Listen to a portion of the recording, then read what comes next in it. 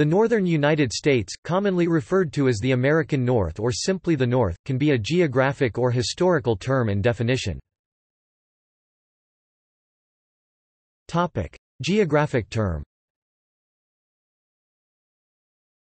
Geographically, the term includes the U.S. states and regions of the United States of America that are located across the northernmost part of the country.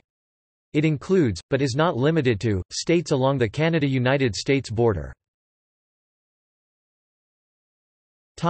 Census Bureau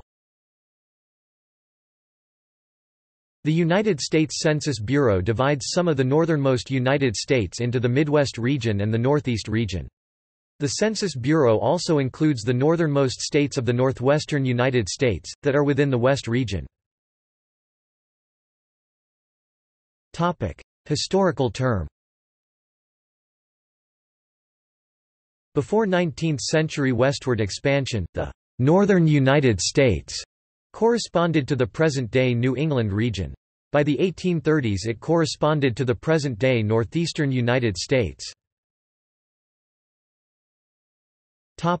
American Civil War During the American Civil War, the northern United States was composed of the U.S. states that supported the United States of America, the Union States. In this context, the North is synonymous with the Union. In this context, the South is composed of the states that attempted secession from the U.S. to form the Confederate States of America.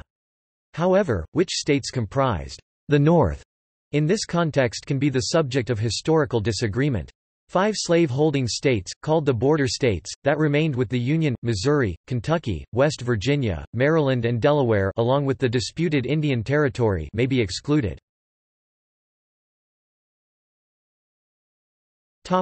See also.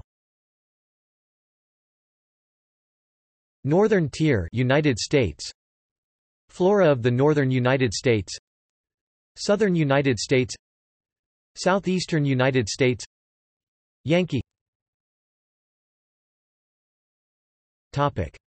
References